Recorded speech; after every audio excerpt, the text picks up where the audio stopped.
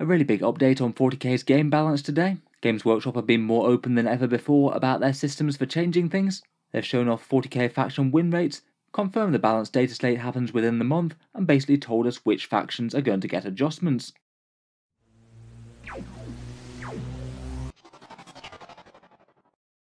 Hello and welcome back to Auspex Tactics, where today we're talking about Games Workshop's rather nice balance update article that they've just shared on Warhammer Community.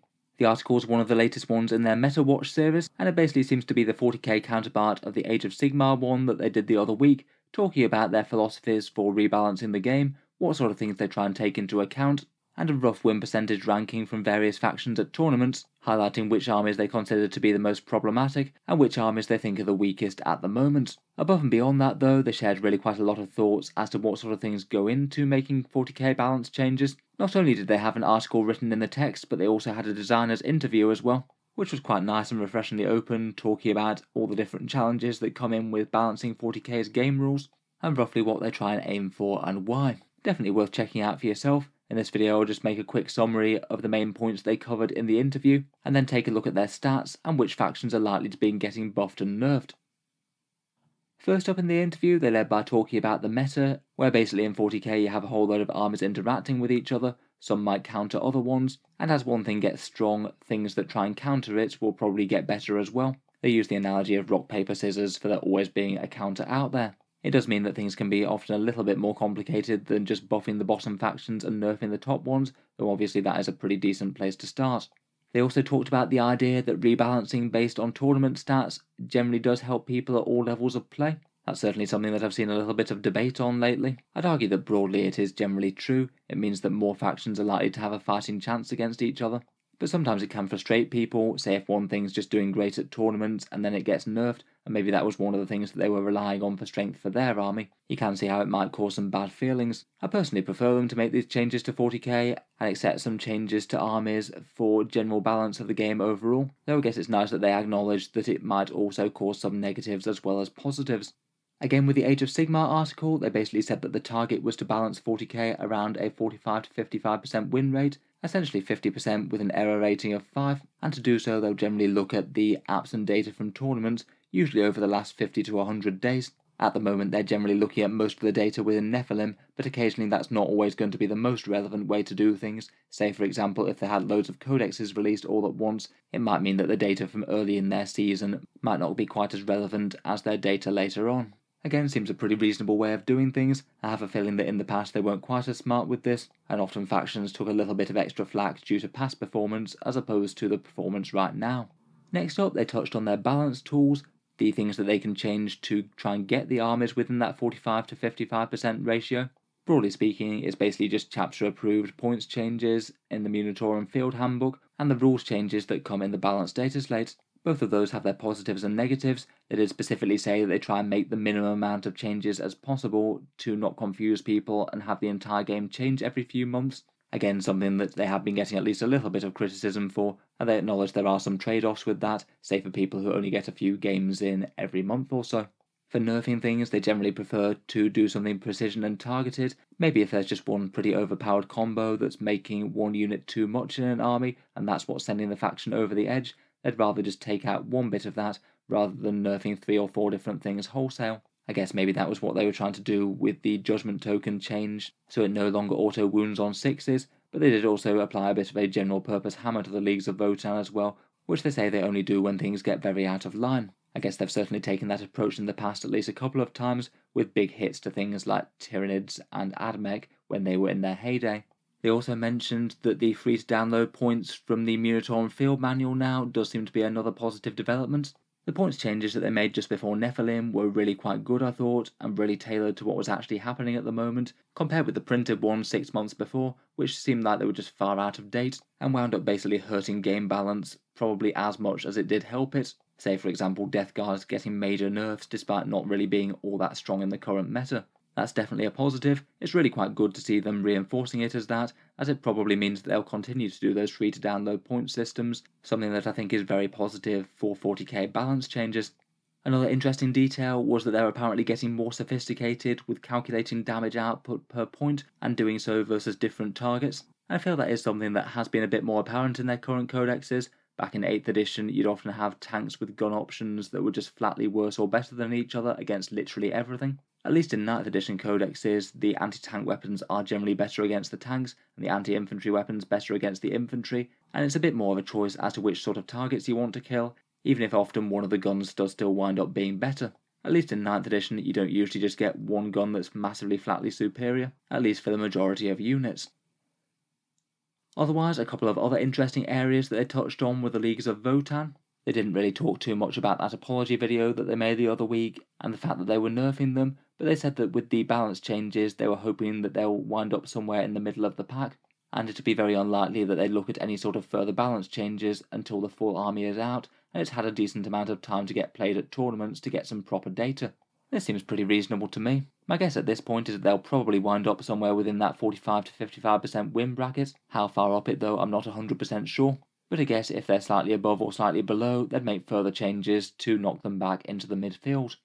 When talking over their win rate stats, they talked about a couple of other interesting things as well. They did talk about some of the limitations with tournament win rates, say for example having some armies that have fairly low win rates but still do great at tournaments, maybe armies that are a little bit more tricky to play straight away, but once they're mastered they get really good. I might say that Tau might be one of those at the moment. Their win rate's kind of middling, but it seems they've got far more tournament wins than most of the other contenders in the midfield, maybe due to the challenge of needing to advance and score points, but without overexposing or losing their crucial damage dealing battle suits.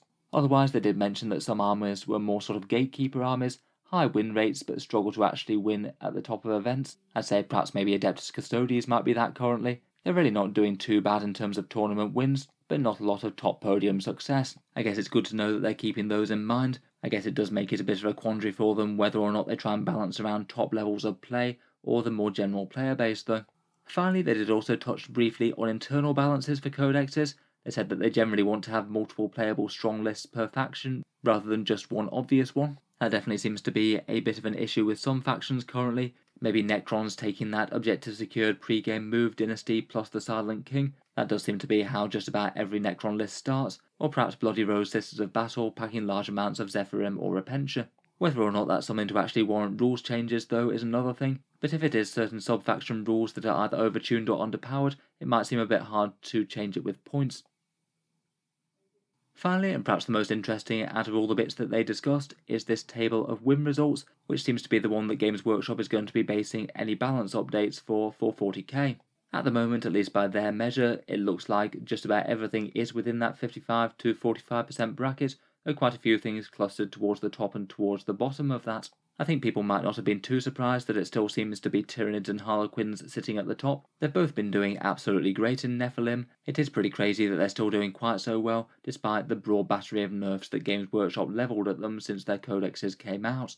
They basically confirmed that unless anything major changes in the next week or so, it almost certainly will be some sort of nerfs for the Tyranids and the Harlequins in the balanced data slates, though apparently it seems that by their own methodology, and Necrons might escape any other attention from the time being. Otherwise, towards the top of the table, it's kind of interesting to see Ynnari out there as well. They have been doing well enough, but it seems hard to argue that they've been causing any real problems, to be honest. They do seem to be played in very small numbers. Otherwise, it seems to be a particularly strong showing for the Chaos Daemons, up to 54%. I feel that's been climbing a little bit since their codex came out. Otherwise, I'd say most of the rest of the top section is really quite expected. Maybe Custodes just a bit unusually high given lack of top tournament success, but they still seem to challenge people well in the midfield.